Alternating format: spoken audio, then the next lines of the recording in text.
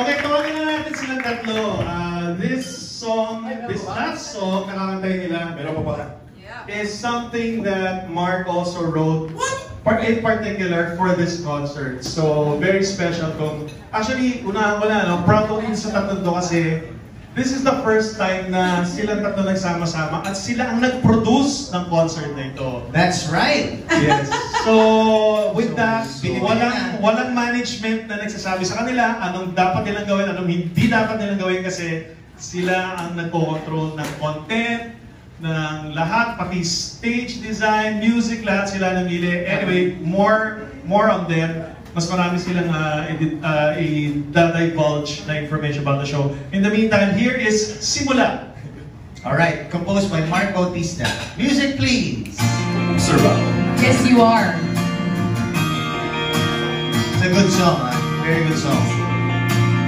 It's out on Spotify na. Oh yes. Yeah. Download it. Di ka na dito sa mundo. Nandito na ako.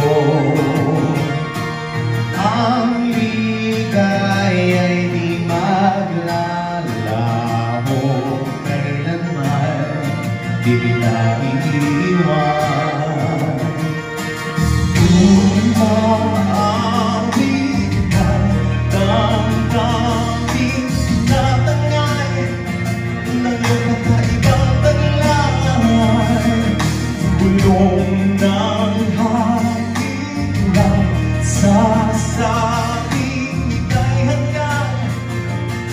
at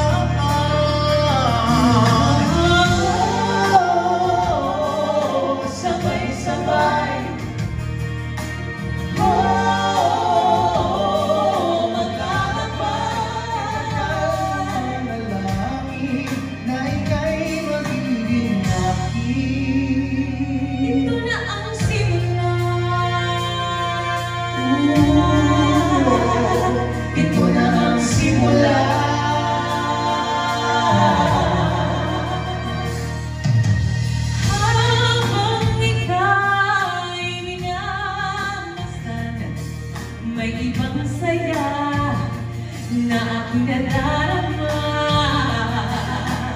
Puso ko'y tumitibok sa bawat kilos mong Tila nakamamahal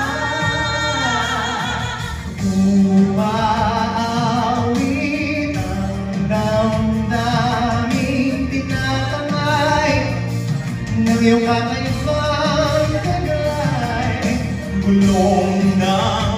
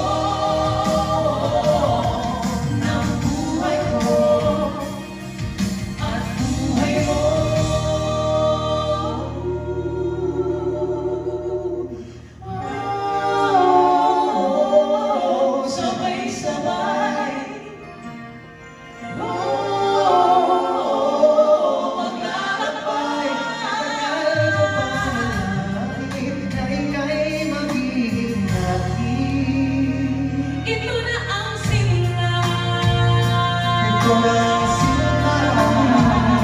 Ito na ang simula.